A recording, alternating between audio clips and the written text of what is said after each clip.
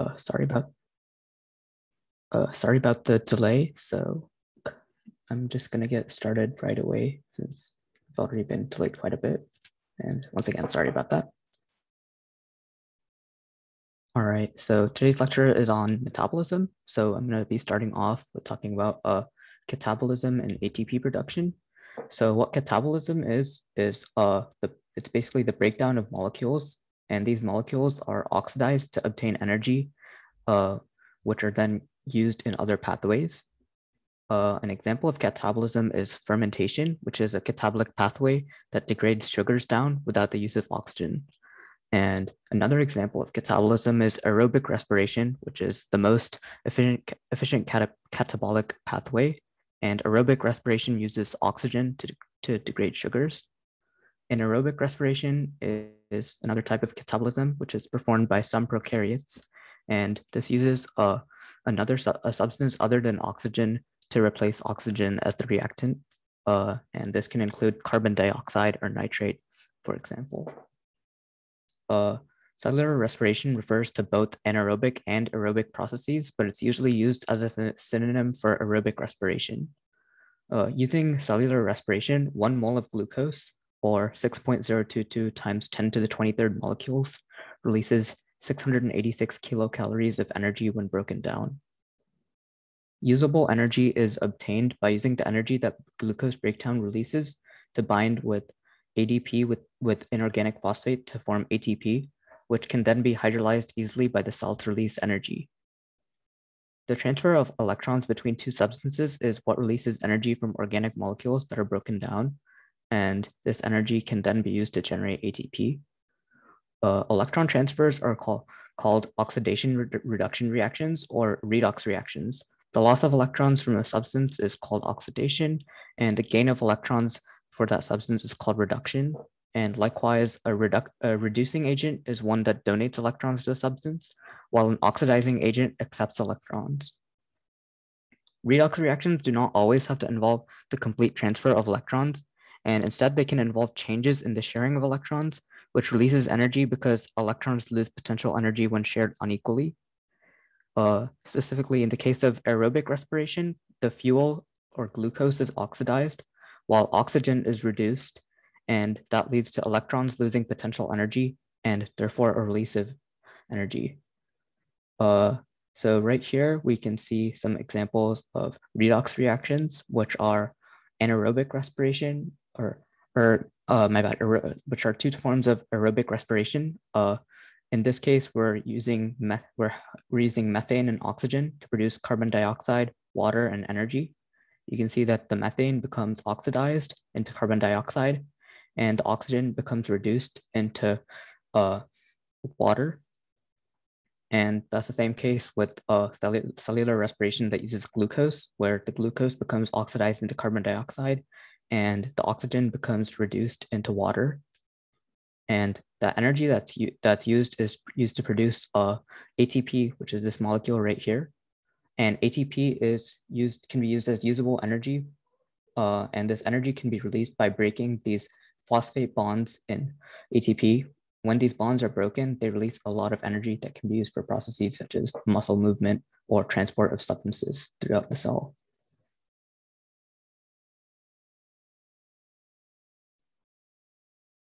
All right, next I'll be talking about uh, NAD plus and NADH. So cellular respiration breaks down glucose in a series of steps. Uh, electrons are taken from glucose and then transferred with along with protons to nicotinamide adenine dinucleotide. And this coenzyme is used because it can easily switch between its oxidized form or NAD plus and its reduced form or NADH. And the re reduced form has two electrons that it can donate. Uh, and the way that it switches is that a dehydrogenase enzyme removes two hydrogen atoms from a substrate or glucose and then transfers these two, the transfers two electrons along with one proton to NAD plus, and the other proton from the two hydrogen atoms is released into solution as, uh, as just a proton. Uh, NADH stores energy, which can then be used to generate ATP.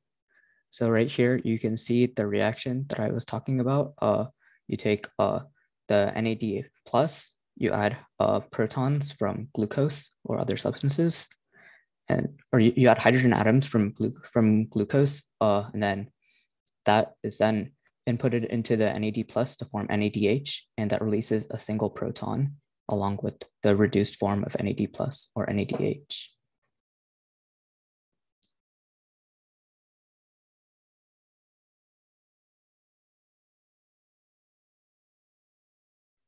All right, now we'll be talking about the first part of uh, cellular respiration, which is glycolysis.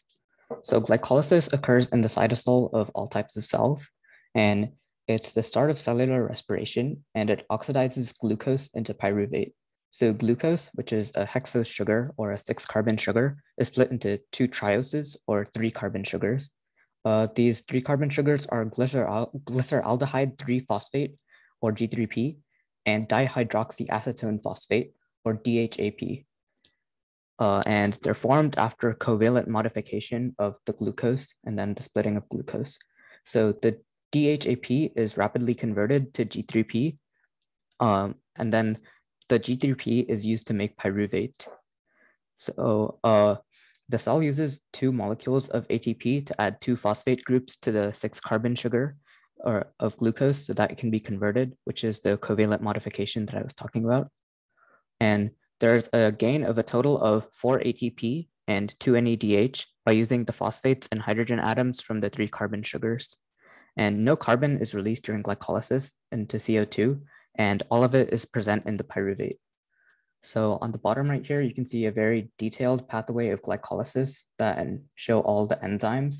So you start by converting glucose into glucose 6-phosphate, and then glucose 6-phosphate is then converted into fructose 6-phosphate, which is an isomer of glucose. Uh, and then what you do with the glucose with the fructose 6-phosphate is you add another phosphate group to it. So it becomes fructose 1,6,5 bisphosphate. Uh, then you cleave that fructose into G3P and DHAP. And then DHAP is converted back into G3P. The two G3P molecules then go down in this pathway, which eventually converts them into pyruvate, releasing the ATP and the NADH molecules.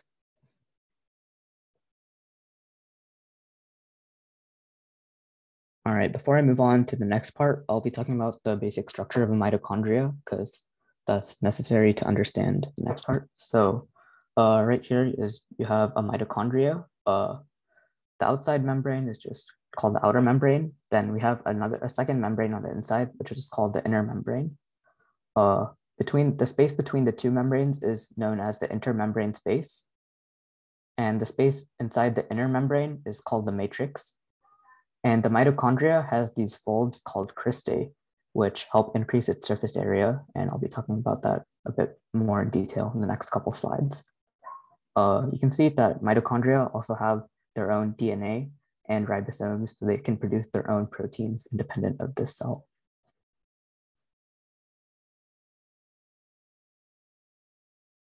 All right, so now moving on to the citric acid cycle. So the citric acid cycle is occurs when oxygen is present and pyruvate is oxidized in the mitochondria. And in aerobic prokaryotes, the pyruvate stays in the cytosol since these prokaryotes don't have mitochondria. So the pyruvate basically enters the mitochondria through active transport, and then it's further oxidized. Uh, after entering the mitochondria, it's converted into acetyl coenzyme A by oxidation of the pyruvate and removal of a carboxyl group or COO minus. And then this carboxyl group is released as carbon dioxide. And after releasing the carbon dioxide, the remaining two carbon molecule of pyruvate is oxidized and the electrons from oxidation are transferred to NAD plus to store energy as NADH. And then uh, after that, you add a coenzyme A to the, the acetyl group that's produced. And coenzyme A is just a B vitamin derivative. And then that generates the acetyl coenzyme A. So once you have the acetyl coenzyme A, it's used in this citric acid cycle pathway, which is used to generate three NADH from the oxidation of NAD+, one FADH2 from oxidizing FAD, which is an electron transporter similar to NADH, which accepts two electrons and two protons to become FADH2. And FAD is used instead of NAD plus in some parts of the citric acid cycle because the energy transferred in that particular part of the citric acid cycle uh, is not enough to generate uh, NADH. Uh, so this means that a total of six NADH, two FADH2, and two ATP are generated from one molecule of glucose. And you can see the reason that it's called a citric acid cycle is because the final molecule that it produces is also the same as the initial molecule that's used along with the acetyl coenzyme A to produce all of the NADH and FADH. So you start off with oxaloacetate, and then you combine that with acetyl coenzyme A, and then the combination of those two can produce citrate, or which is one which is uh, basically just citric acid without a hydrogen atom, and that's why it's called the citric acid cycle. Using citrate, you go to isocitrate, which is just an isomer of citrate, and that's done by just removing a water molecule and then adding another molecule, water molecule in, the, in another place. From there, you form alpha ketoglutarate to a bunch of various car carbon molecules and then by forming those carbon molecules, you, get, you can produce NADH. And then you finally get back to oxaloacetate, which can be used with another molecule of acetyl coenzyme A to restart the cycle all over again and produce more electron carrying molecules.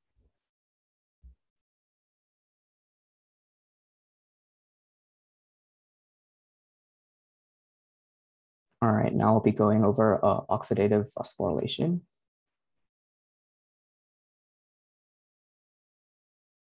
So the oxidative phosphorylation occurs in the electron transport chain or the ETC, which are just interchangeable terms. So the electron transport chain is a collection of molecules that are embedded in the inner membrane of the mitochondria in eukaryotes and in the plasma membrane in prokaryotes. And the, the electron transport chain is just used to power ATP synthesis. So the inner membrane of the mitochondria has the folds or the cristae that I was talking about, and like I said, the folds uh, increase the surface area and increasing the surface area of the mitochondria, the mitochondrial membrane allows uh, thousands of individual electron transport chains to exist in a single mitochondrion.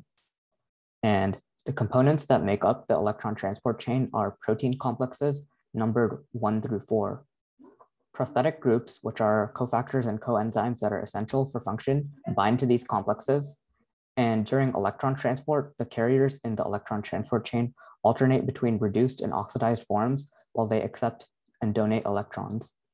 Electrons move to lower free energy states as they travel through the transport chain, which releases usable energy. And electrons from NADH are transferred to flavoprotein in complex one, then to an iron sulfur protein, and then to ubiquinone, which is a small hydrophobic coenzyme that's the only non-protein member of the electron transport chain. Uh, and then after that, almost all the remaining proteins in the complexes are cytochromes, which are these molecules with uh, prosthetic heme groups that donate and, and accept electrons using an iron atom in the center. And you can see the heme groups that are involved in the process right here. Uh, so uh, it's got an iron atom in the center, which accepts or donates the electrons and it's surrounded by nitrogen atoms and a, a bunch of various other other other um, atoms, and that heme group is embedded in the cytochromes. So in addition to uh, the heme groups, there's also a couple more iron sulfur proteins and the other complexes of the electron transport chain. So in, addition, in addition to complex one, complexes two and three also have iron sulfur proteins. And the final cytochrome, uh, which is in, located in complex four, passes two electrons to oxygen. And then along with the two, the two electrons, oxygen also picks up two hydrogen ions from solution and it combines with the hydrogen ions and electrons to form water, which is released as one of the products of uh, respiration. So this is all made possible by the electron carriers FADH2 and NADH, which were produced in the Krebs cycle and then they shuttle the electrons from the Krebs cycle to the electron transport chain. So FADH2 donates electrons at a lower energy level than NADH uh, because it also is produced at a lower energy level, like I mentioned before. So although both molecules donate the same number of electrons, NADH generates more ATP. Uh, and NADH specifically generates 2.5 ATP versus FADH uh, generates 1.5 ATP. Uh, the electron transport chain itself generates no ATP directly, and instead ATP is generated via chemiosmosis. As the electron tra transport chain shuttles electrons, uh, it also pumps protons from the matrix to the inner membrane space. And then the pumping of protons into the intermembrane space creates a, an, a proton gradient that's exploited by the protein ATP synthase to generate ATP from ADP and inorganic phosphate. Uh, in prokaryotes, the proton gradient created across the cell membrane is used to generate ATP and to move uh, and to move flagella and pump wastes and nutrients across the membrane. So right here, you can see uh, images of the electron transport chain with the different complexes uh, protein complex one, protein complex two, the protein ubiquinone, which floats inside the membrane, uh, protein complexes complex three and four. And then after transporting the electrons to oxygen, you can see that there's an ATP synthase, which uses the hydrogen ions uh, pumped by the electron transport chain to generate ATP. And the way ATP synthase does this is it's kind of like a, a motor. So uh, hydrogen uh, proton, uh, protons flow through to the other side. And as they flow through, this turns the ATP synthase and the mechanical motion of the turning is used to force ADP and the inorganic phosphate molecule together to form ATP.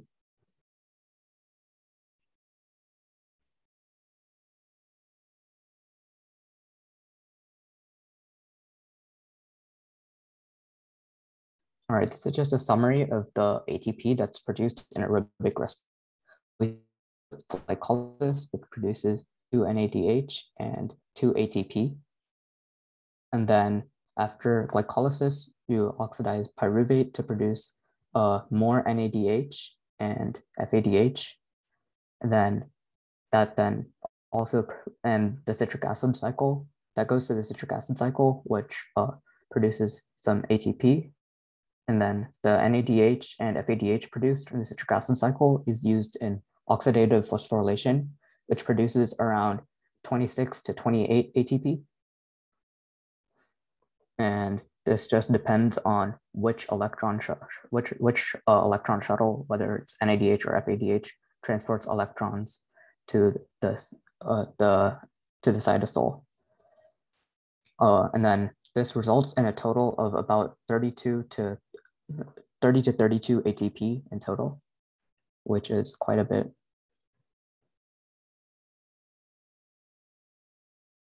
All right, now I'll be moving on to photosynthesis.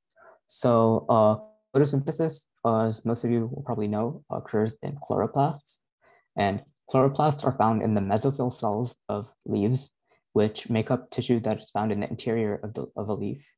And the, these mesophyll cells have about 30 to 40 chloroplasts, which measure about two to four microns or micrometers by four to seven mi microns. Uh, chloroplasts themselves have two membranes, just like the mitochondria, that surround a thick fluid, which is the stroma. And inside the stroma, there's a third membrane system, which is called, which is made up of sacs called the thylakoids. And chlorophyll is located inside the thylakoid membranes of the chloroplasts. The general formula for photosynthesis is carbon dioxide plus water to a sugar or a carbohydrate molecule plus oxygen. And like I said, the, the, carbon, the carbohydrate is molecule can be is just any type of sugar, which can then be converted into glucose after multiple cycles of the photosynthesis reaction. And likewise, right here, you can see that photosynthesis, like uh, cellular respiration, is a reaction dioxide becomes reduced into a sugar and the water becomes oxidized into oxygen.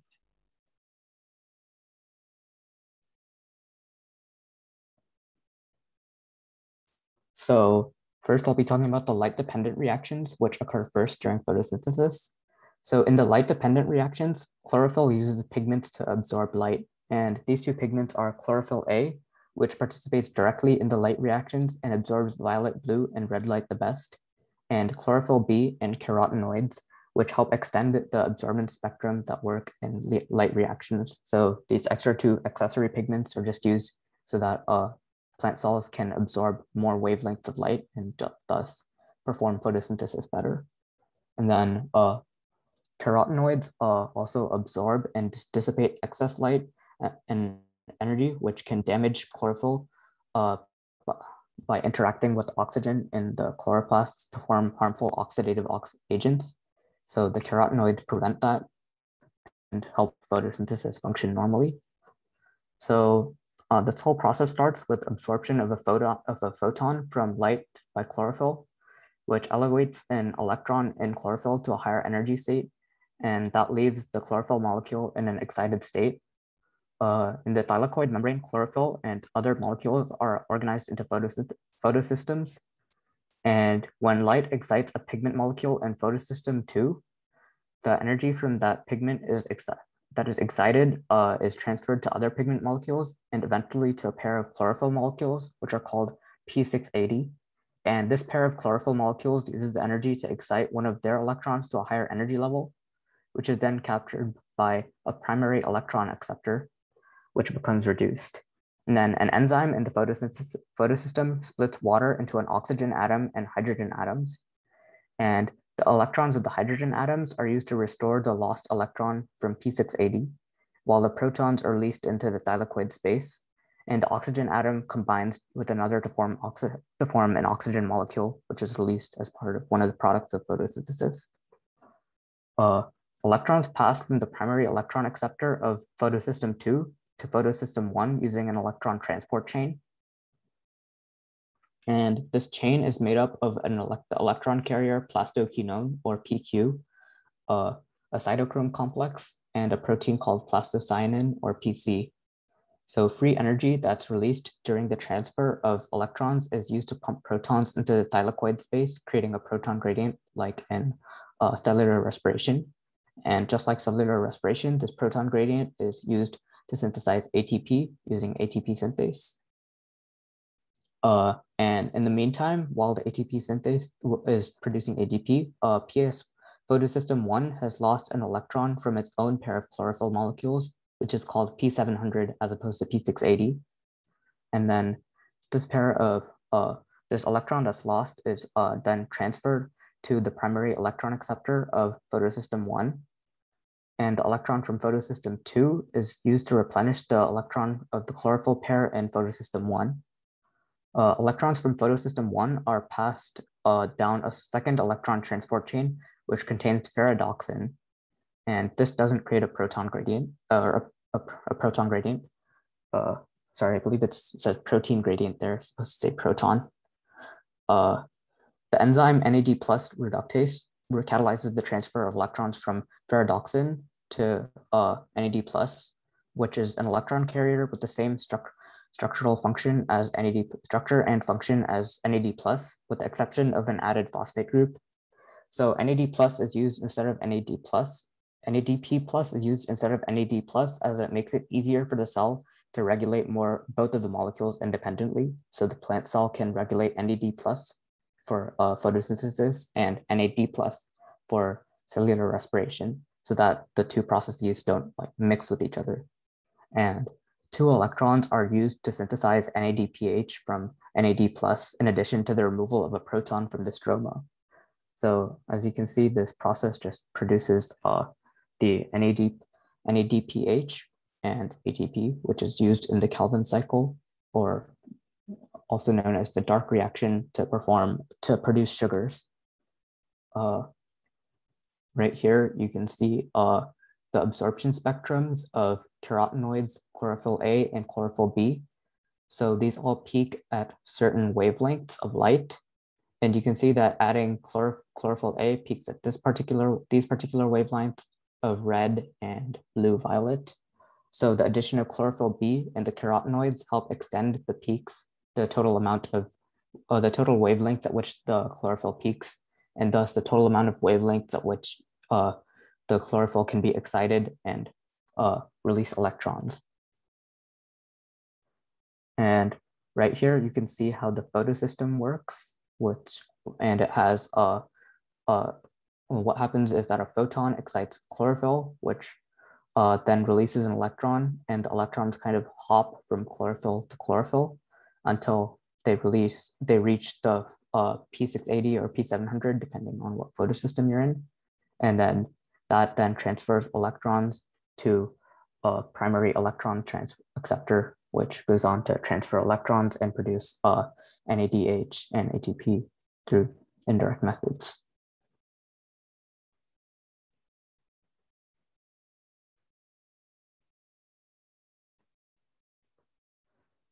Uh, right here, you can see a basic, a more visual representation of the light dependent reactions. You start off, once again, you start off with light, uh, exciting the chlorophyll molecules, releasing electrons. Uh, electrons are then uh, go uh, from the chlorophylls, then go along this electron transport chain, and they get replenished by photosystem one. Eventually, they combine with NAD plus and a proton to produce NADPH, which is used in the Calvin cycle. And meanwhile, uh, the electrons that are lost in the original photosystem two are replenished by the splitting of water into protons and oxygen. Oxygen is released as a product while the protons are pumped uh, into the outside. Uh, the proton create the protons create a gradient which are pumped into the outside and that allows ATP synthase to uh, synthesize ATP from ADP and inorganic phosphate. And that ATP is also used in the Calvin cycle, which I'll then be talking about next. All right, last slide, which is the Calvin cycle. So the Calvin cycle produces the three carbon carbohydrate G3P, which you may remember from cellular respiration. And the production of one molecule of G3P requires three cycles of the Calvin cycle. So the cycle uses any it uses ATP as an energy source and NADPH to add electrons to the carbon to the carbon compounds to produce sugars. So you start off the cycle by attaching carbon dioxide to a five carbon sugar, uh, which is ribulose biphosphate or uh, RUBP, uh, using the enzyme. And this is done using the enzyme RUBP carboxylase or oxy oxygenase or Rubisco and this is the most abundant protein in plants and most likely the most abundant protein on Earth, which is quite interesting. Uh, the six carbon intermediate that's formed by attaching carbon, the one carbon carbon dioxide to the five carbon sugar is unstable. So it splits into two molecules of three phosphoglycerate. Uh, and then the three phosphoglycerate molecule receives a phosphate from the ATP produced in the light reactions, and it then becomes one three bisphosphoglycerate uh, two electrons donated from the NADPH produced in the light reactions reduce the 1,3-BPG or bisphosphoglycerate. And this also causes it to lose a phosphate group. And then it then becomes glyceraldehyde 3-phosphate. And then electrons reduce a carboxyl group on the 1,3-BPG to the aldehyde group of G3P, which causes the molecule to have more potential energy, which is good since you want sugars to be able to store more energy.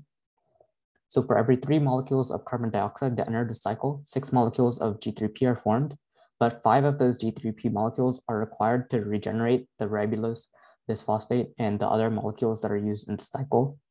So one molecule exits the cycle and then it's used by the plant to produce hexoses or such as glucose in the cytosol. And like I said, the remaining five G3P molecules are rearranged by the Calvin cycle into three uh, RUBP molecules, which use 3 ATP to do this. And this allows the RUBP to accept carbon dioxide again. So a total of N nine and ATP and six NADPH molecules are used to generate one G3P molecules. And therefore, uh, 18 ATP and 12 NADPH are required to generate one glucose molecule.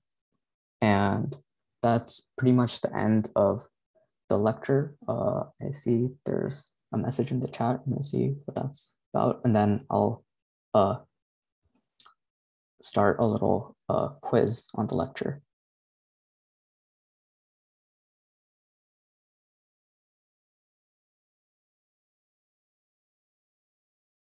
All right, so I have a good question, uh, which is that uh, could you explain why uh, NADH generates more ATP than uh, FADH? So I'll go back to that slide and answer that.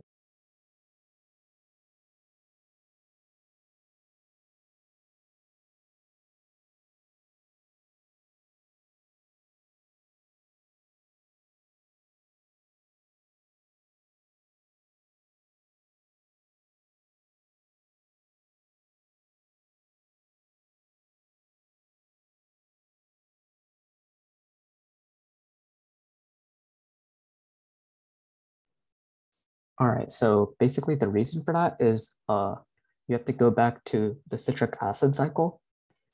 So uh, during the citric acid cycle, the reason we use uh, FADH in one of the steps instead of NADH uh, is because the in the particular step of the citric acid cycle that generates FADH, uh, the energy that's produced from uh, uh, reducing our carbon is not enough to generate uh, NADH.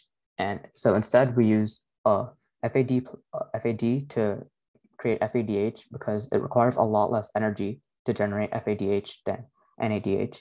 And as a, as a result of generating FADH instead of NADH at a lower energy level, when you turn the FADH back into FAD in the electron transport chain, uh, there's a lot less energy that can be released and therefore less ATP is produced because less energy means less ATP. Yeah, thank you for the question. That was a good question. All right. Uh, if no, if there are no other questions, uh, I'll wait for a couple seconds to see if anyone else has any other questions. And if not, I'll start a short, very short quiz.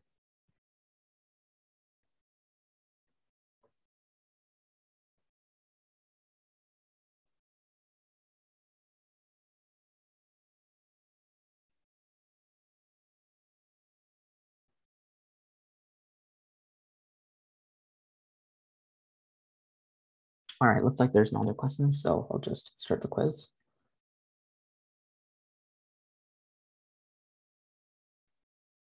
All right, uh, you can go to menti.com and use the following code to start.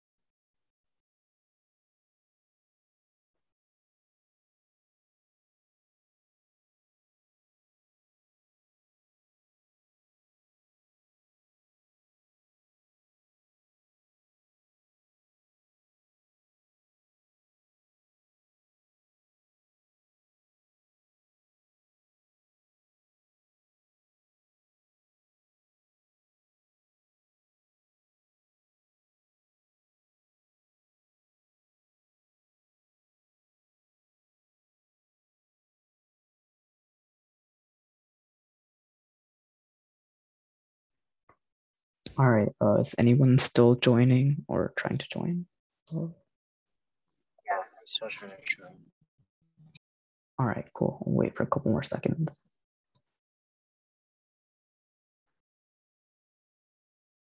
Yeah, my internet is kind of bad because Ah, that's a, that's okay. Uh, I'll wait for a couple minutes then.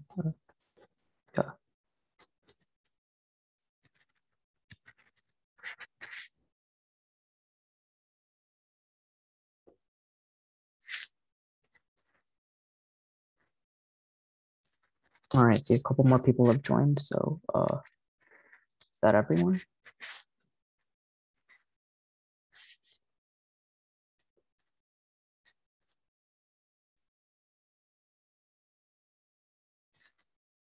All right, there's uh, nobody else that wants to join then, I guess. Uh, I can start now.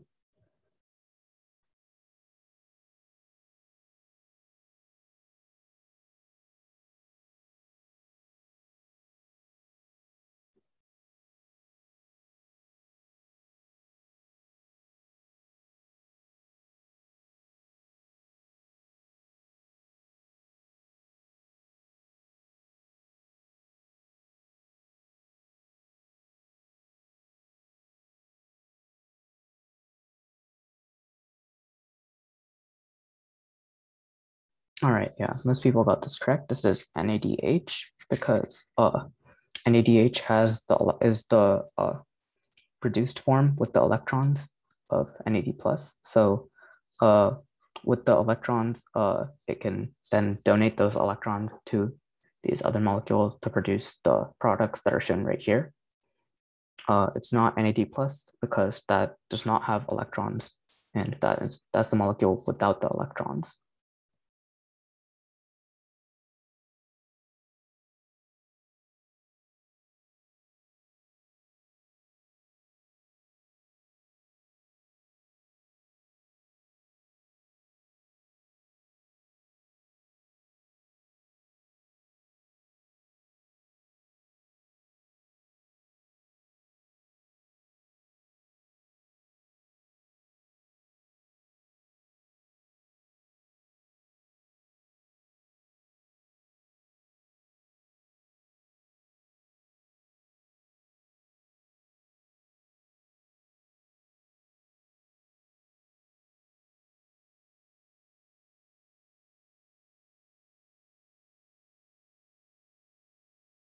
All right, uh, so I can see once again, a majority of people got this question right, which is great.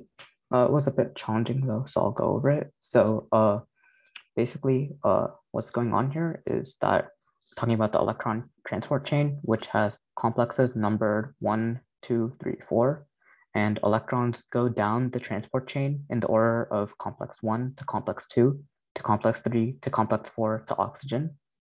So if you block the uh, cytochrome oxidase in complex four that prevents electrons from being transported to oxygen and oxygen from becoming reduced.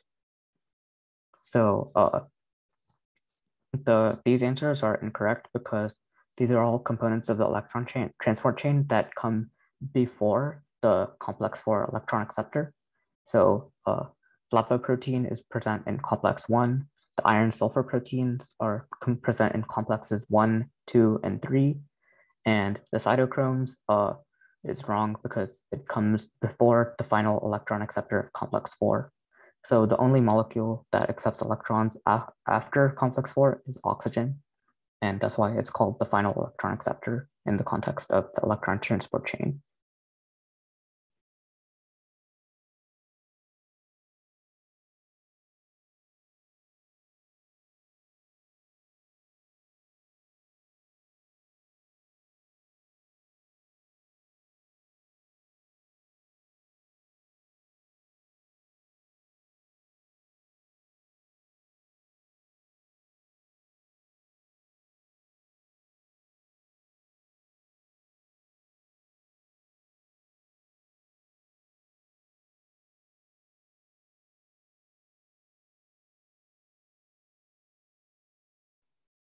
All right, uh, so this one was just a little bit of math. Uh, hopefully my math is correct on this, but uh, it's 2.5 ATP per NADH and uh, 1.5 ATP per FADH2. So 2.5 times 4 is uh, 10 and 1.5 times 6 is uh, 9. So you sum those up to get 19 and that's a total of 19 ATP.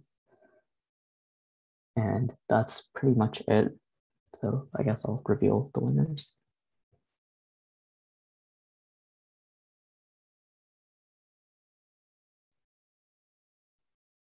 All right, uh, congratulations to everyone. And Joshua, I guess, for scoring the best on this. Uh, and yeah, thank you all for coming to this meeting and participating, uh, asking questions. And yeah, that's pretty much it. Uh, if anyone else has any questions, feel free to ask them right now. But if not, that's the end of this. And y'all can go now. Uh, where will the uh, where will the recording be posted? Uh, that'll be posted in our Discord. Uh, do you have the link? Are you in our Discord or do you need the link? No, no, uh, no, I'm not. Okay, yeah. Let me uh send the link to our Discord now. Okay, thank you.